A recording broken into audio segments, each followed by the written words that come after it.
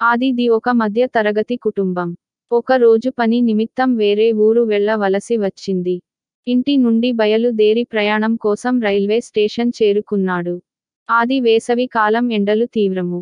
రెండు రోజులు ప్రయాణం తరువాత తన గమ్యం చేరుకున్నాడు. ఆలీ మార్కెట్లో ఒక చేతి రిక్షా లాగే కూలి కార్మికుడు.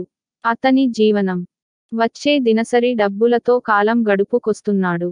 ఆది రైల్వే స్టేషన్ నుండి తీవ్ర ఎండలో తన పని నిమిత్తం మార్కెట్లో నడవసాగేడు ఆదిలో ఆరోగ్యం సమస్య అకస్మాత్తుగా గుండె నొప్పితో సతికిల పడ్డాడు. అక్కడ ఉన్న వారు దిగ్భ్రాంతితో ఆది నీ చూస్తుండగా.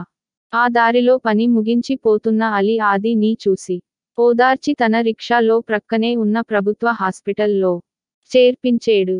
అక్కడ డాక్టర్లు ఆదికి ప్రథమ చికిత్స చేసి ఆది వచ్చే ఆపద నుండి కాపాడేరు. ఆది కుటుంబ సభ్యులకు అలీ సమాచారం తెలియచేసేడు.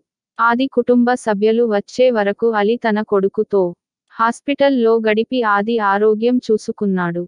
ఆది ఆరోగ్యం బాగుపడిన తరువాత ఆది కుటుంబ సభ్యులు అందరూ అలీకి కన్నేరుతో ధన్యవాదాలు తెలియచేశారు. కుల మతాలు రెచ్చిపోతున్న నేటి సమాజంలో మానవత్వానికి ఏ కులము లేదనడానికి అలి ఒక నిదర్శనం. మనిషిలో మానవత్వమే దేవుడు. ఆది నుంచి ఆకాశం ఊగది. అనాదిగా తల్లి ధరణి మూగది ఏ కులము నీదంటే